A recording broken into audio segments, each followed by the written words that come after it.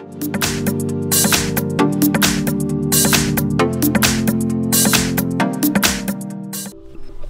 I've got Samsung Galaxy Note 10 and let me show you how to use screen recorder on the following device. So at first, let me capture some action on the screen and then I will show you how to personalize the whole video stuff. So at first, slide down the upper bar, locate screen recorder icon, here it is, simply tap on it and as you can see, 3 to 1 go and we can do something here. Let me go to the calendar, let's check this day, tap on plus.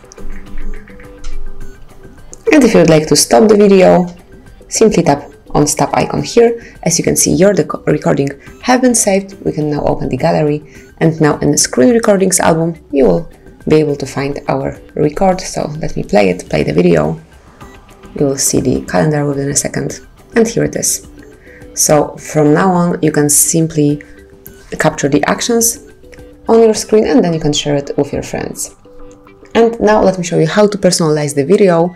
So let's open the list of all applications, then find and pick the settings, scroll down and go to advanced features and then locate and open screenshots and screen recorder. And now if you will open screen recorder settings, you can change the video quality and also the sound. So you can pick no sound, media sound or both media and mic sound if you want to. So let me pick this. Then you can also change the video quality so you can pick whichever you prefer. Let me pick the highest. And also you can pick the selfie video size.